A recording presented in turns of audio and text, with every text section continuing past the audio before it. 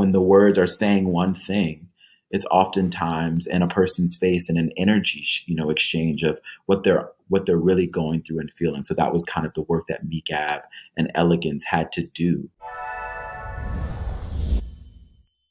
Hey there, this is The Awardist on Entertainment Weekly. I'm Dave Karger, and it's my pleasure to be here with the two stars of the beautiful movie The Inspection, Jeremy Pope and Gabrielle Union, who's also an executive producer. Hello to you both. Great to see you. Good to Hi. see you. First thing I have to say is congratulations to you both on the nominations at the Spirit Awards. How cool that you're both nominated. I think that just really reflects your achievement together on this. So, congratulations to you both. Thank you so Thank much. you. I'd be curious to know, Jeremy, I'll start with you, and then Gab, I want you to answer the same question. Just what was your first reaction when you learned about this story? I mean, this this is your director, Elegance Bratton's story. What struck you when you first heard what this movie was going to portray? I fell in love with the words on the page and I fell in love with elegance and I wanted to protect him. I knew that by him being so vulnerable and, and honest and telling his story and giving it away, um, that he would need, you know, some special people around him to kind of protect the, the integrity of the piece, the, the, the, the emotionality of the piece. Um, and I wanted to be the person that the audience met before they got to elegance.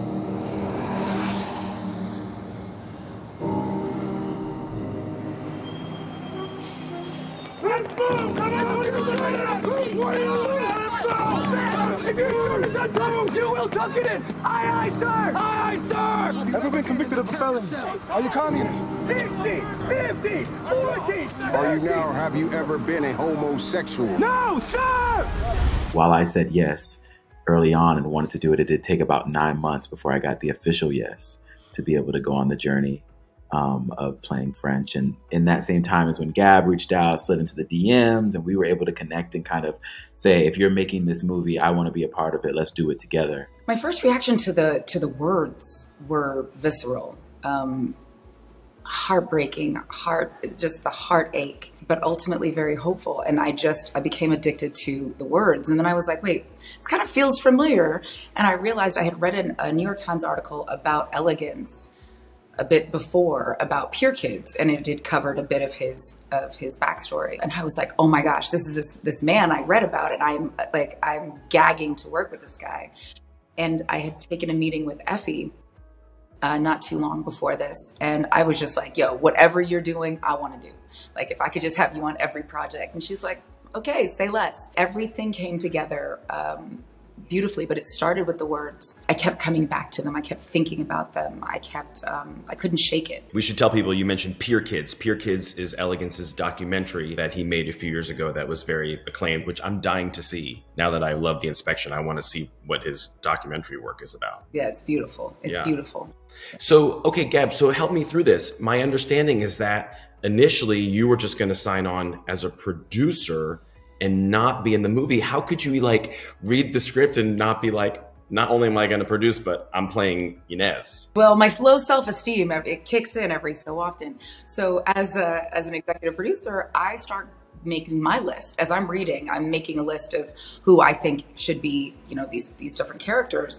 And when it came to Inez, I just literally didn't believe I had what it took or would be anyone else's choice. I never factored myself in at all. And then when they were like, no, we want you to be Inez, it was kind of a jolt to the system. And Elegance was just so confident that I could do it. And he instilled in me a level of confidence that I've never had in myself for my ability in this industry. Are you in trouble? Ma, I need my birth certificate.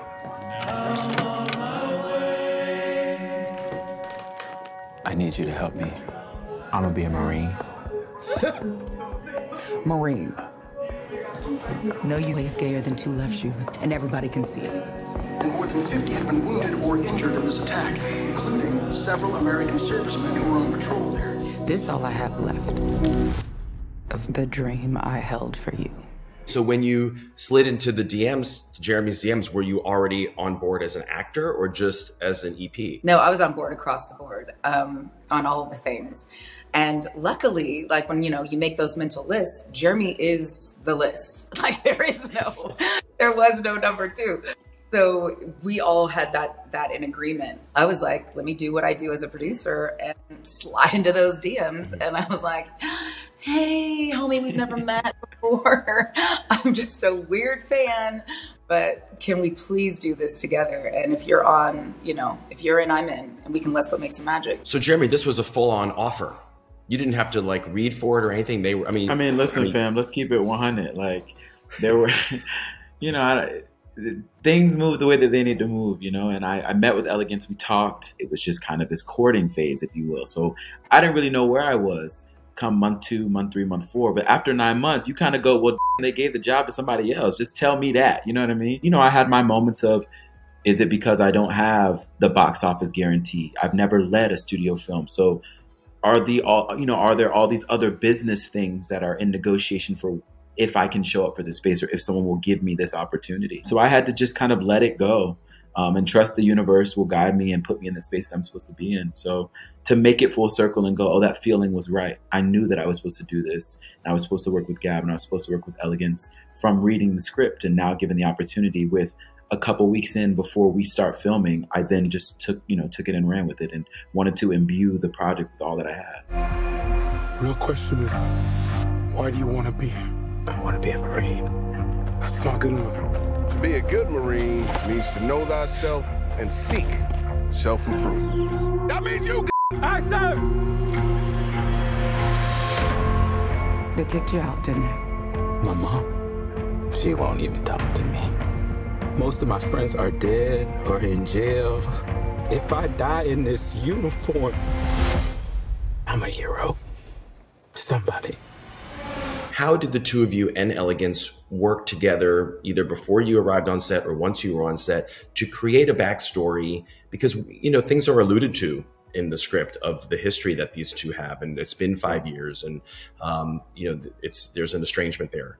But how did you guys talk about it all in the context of this movie in as in the context of his story and in the context of the script that is presented. When they first approached me, his mom was alive.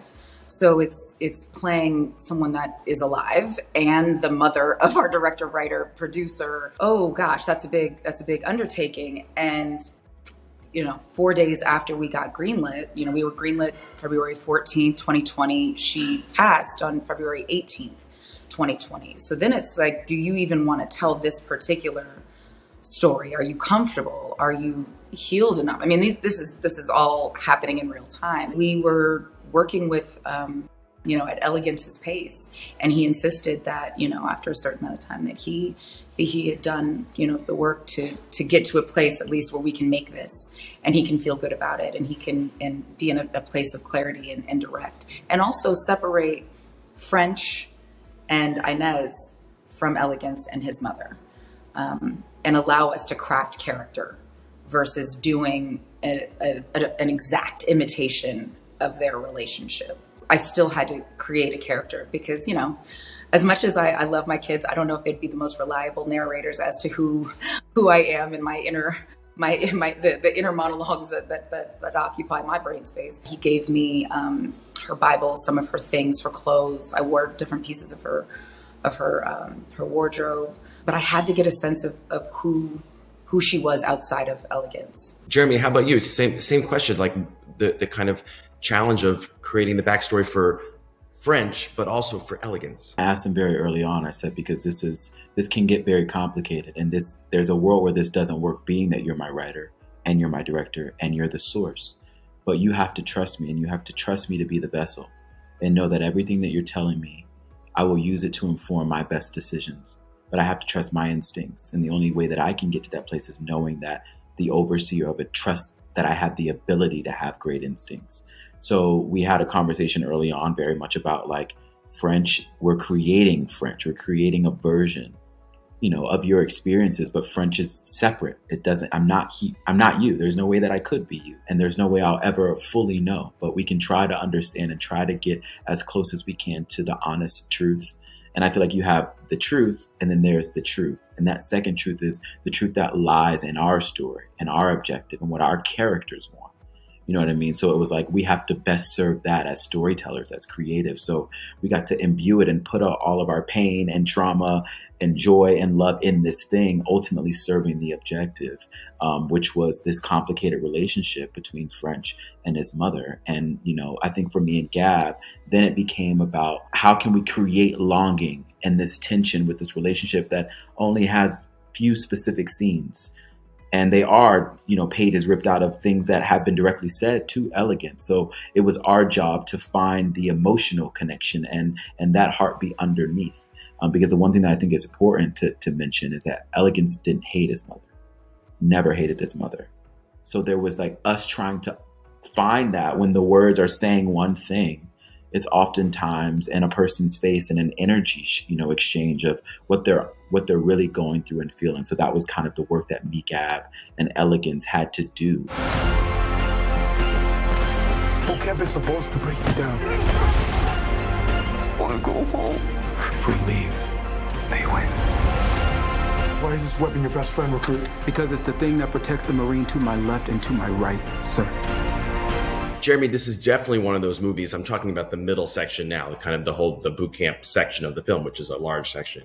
Uh, definitely one of these movies where I'm watching like I would last two hours, and I would be out the door on a bus back to my life, and it's just so inspiring and mind blowing what elegance and Ellis, your character, are able to handle.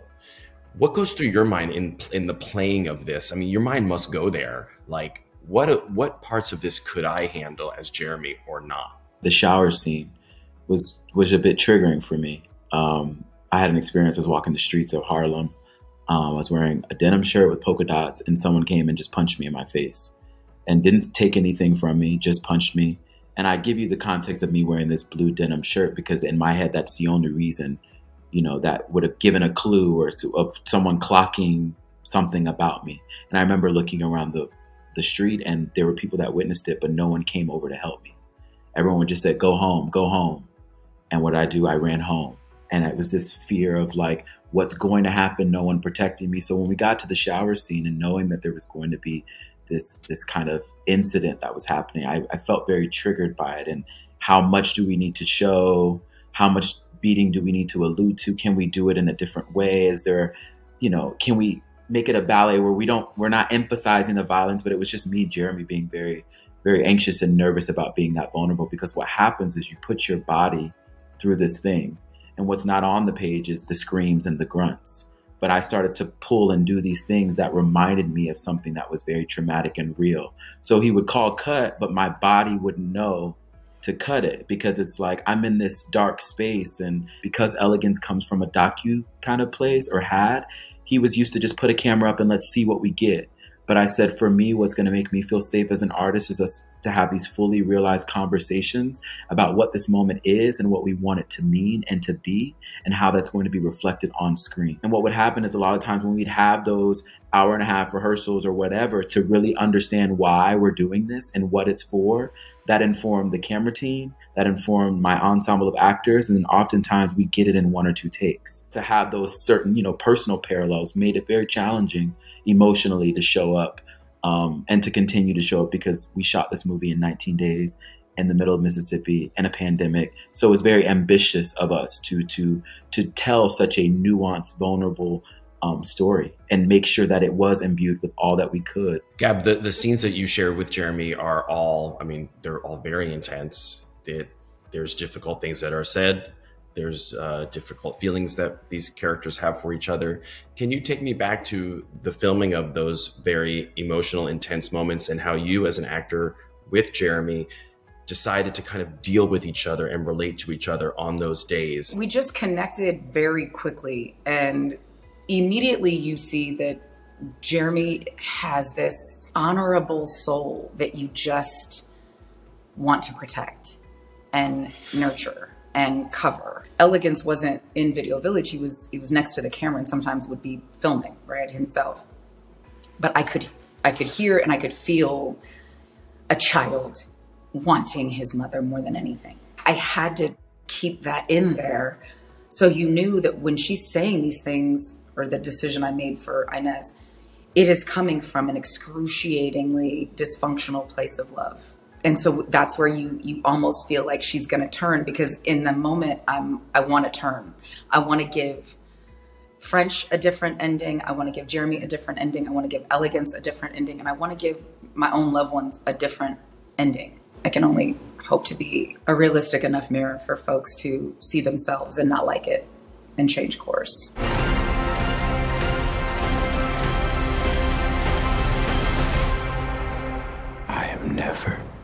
giving up on us.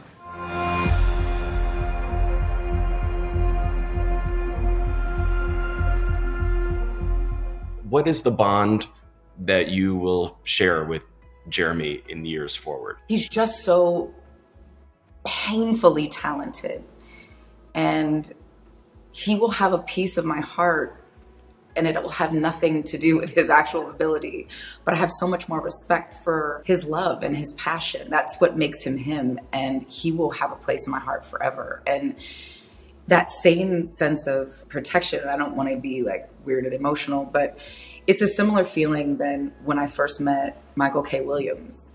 And obviously different actors different journeys. They have the ability to reach in and grab pieces of your heart. And that if it's anything like with mike it's it's everlasting. Talk to him probably more now than i did when he was alive. So it's it's a similar connection that is a soul connection. Outside of my own kids he just feels like there's a piece of me in him. That level of intensity and love and admiration and when i'm watching him i'm just crying and cheering like a weirdo It's a pleasure to see you both. I congratulate you again on these beautiful performances. For people who haven't seen the inspection, it is available on demand as of December 22nd. So it's easier to see than ever before. Uh, Jeremy Pope, Gabrielle Union, great to see you both. And thanks so much for taking some time. Thank you. thank you for having us